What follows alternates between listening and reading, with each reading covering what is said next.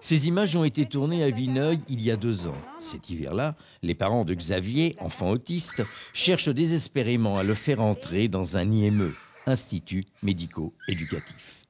En mars dernier, alors qu'il séjourne à l'IME des Basses Fontaines de Cruy-sur-Cosson, sa mère constate que son enfant porte de nombreux hématomes sur les bras, les avant-bras et au niveau du bassin.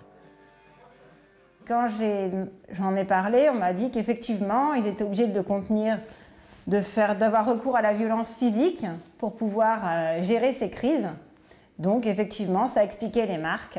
Puis un jour, il y a eu trop de marques.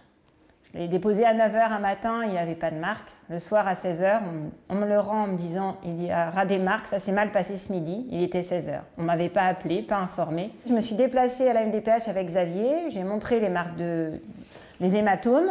La MDPH m'a rappelé pour m'expliquer qu'ils allaient faire, euh, voilà, qu'ils allaient transmettre les informations et qu'ils allaient essayer de chercher une solution.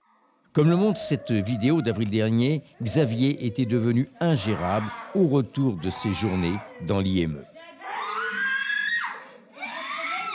Mon enfant a été retiré, il y a eu une inspection de l'ARS et puis on a finalement obtenu une place dans un autre IME. Aujourd'hui, officiellement, le parquet de Blois a classé le dossier sans suite. Et devant le désarroi de la mère de Xavier, une association, des rêves pour Xavier, a pris le relais. Elle va diligenter une nouvelle procédure.